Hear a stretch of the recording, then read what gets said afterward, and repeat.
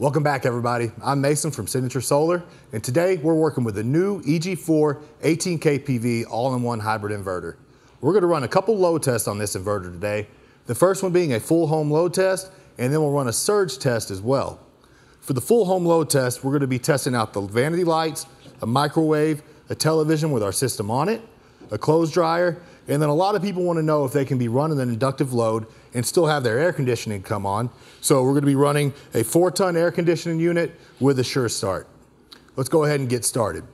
Okay. Our first appliance we'll crank up will be this microwave for this full home load test. Go ahead and hit start. Excuse me. Go ahead and start that up. All right, next we'll go and turn on our clothes dryer. This is a five kilowatt load. Go ahead and crank that. Sorry. Now we have our clothes dryer running as well. So we have our lights, microwave, TV, and clothes dryer. Now for the big test, the four ton air conditioning. Go ahead and flip this breaker.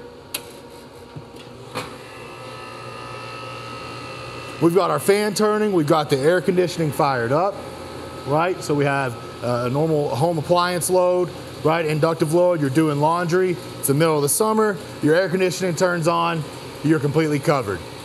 All right, so now we'll go ahead and transition into our surge test. All right, so we've ran our whole home load test. Now we wanna run the surge test for the 18K. The appliances we're gonna be using are our space heaters, our oven, and the burners that are attached, and a microwave. Okay, we're gonna keep on going, see how high we can get this inverter to push. Let's go ahead and get started. We'll start with our oven. We'll turn, go with the bake with 350 preheat. Okay, we do have a camera on our ammeters here to get an accurate reading of how much, uh, how many amp, amps are being pulled, excuse me. Okay, so we've got our preheat going. We'll go ahead and turn all these burners onto high. Okay, we can hear that 18K start to fire up pulling 40, about 40 on each leg, 42 on one, 40 on the other.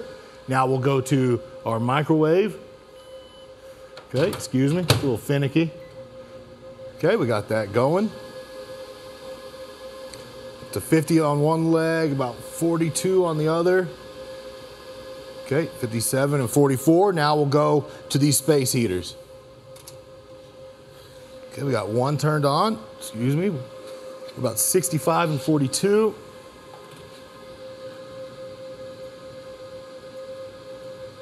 Still about 62, 51. We'll continue to play with these, see how high we can get that amperage to go.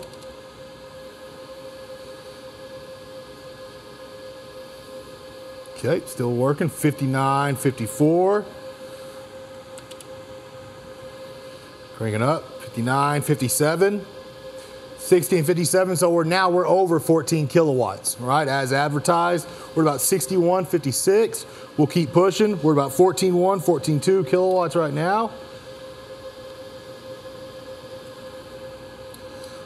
Okay.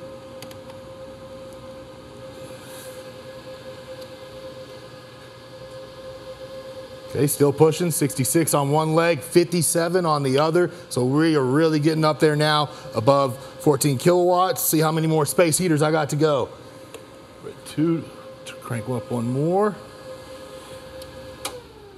All right, so we've gone ahead and tripped our system, right? The last readout that I saw was at about, um, about 64 and 60 on the two legs, so over 14 kilowatts. Thanks for joining us for these tests today. We'll see you next time.